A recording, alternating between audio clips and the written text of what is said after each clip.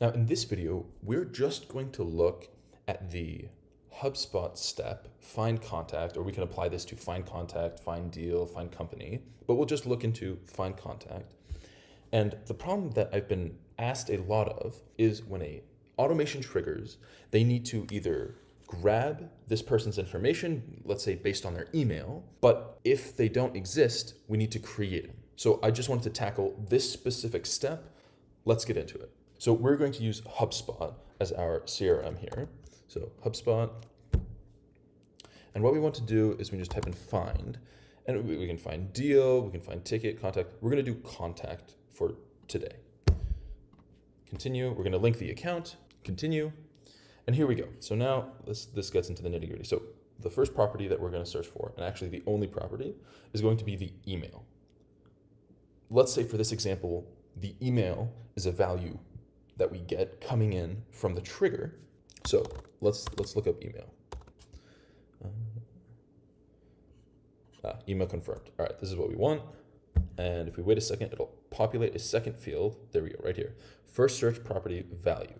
So we're going to search, and, and we'll just search, we'll just search this. Um, we'll search for someone's email. Great, we don't, we can add other other properties here. Uh, we don't need to. All I want to do is, is search for the individual's email um, because if they have a different email, then we'll count that as a different person.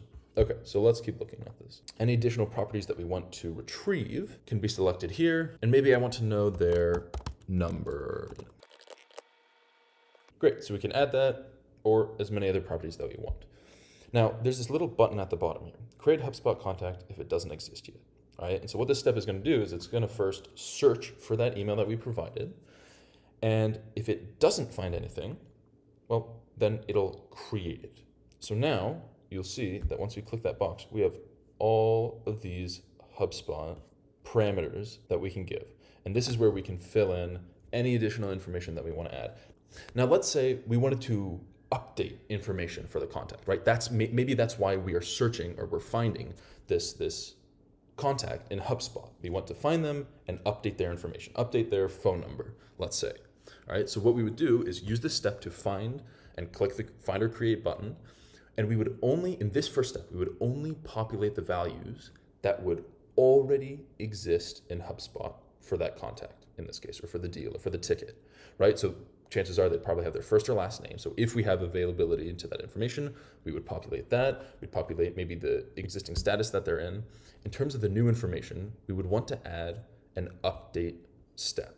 Reason is because let's say it does find the information, right? It finds the information, we have that person, we'll add an update step right now and it'll update it. Great. The other scenario is that it creates the HubSpot contact and we associate all the information, including the new phone number. Well, we'll still have another updater step anyway that will update it. So it's, it's kind of updating twice. Doesn't really matter. Doesn't really matter, but it'll save you from having to input all those properties in multiple times. So we can just take a look and see what this HubSpot update step kind of looks like. And we want to update contact, link the account, and for this object ID, we will get this from the ID of the previous step, right? This is the ID of the person.